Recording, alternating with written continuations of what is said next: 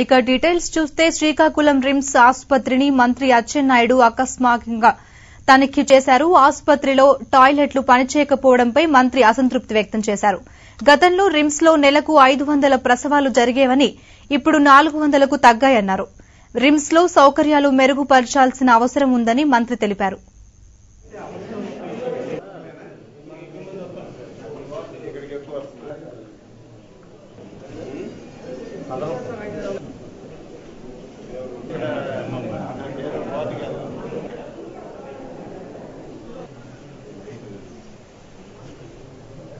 బాత్రూమ్లు ఎలా ఉన్నాయమ్మా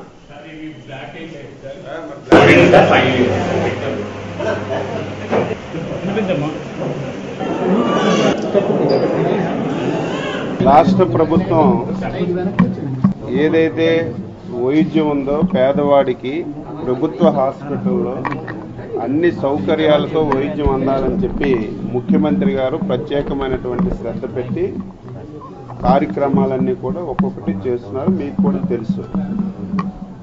ఈరోజు ప్రజాప్రతినిధులుగా మేము కూడా హాస్పిటల్ని సర్ప్రైజ్గా విజిట్ చేసి సిబ్బంది యొక్క పని ఇక్కడ ఉన్నటువంటి ప్రాబ్లమ్స్ అన్నీ కూడా ఎప్పటికప్పుడు కూడా తెలుసుకొని ప్రభుత్వం నుంచి కూడా సహాయ సహకారాలు అందిస్తే ఇంకా వైద్యం మెరుగుపడుతుందన్న ఉద్దేశంతోనే నేను ఈరోజు సర్ప్రైజ్ విజిట్కి ఇక్కడికి రావడం జరిగింది.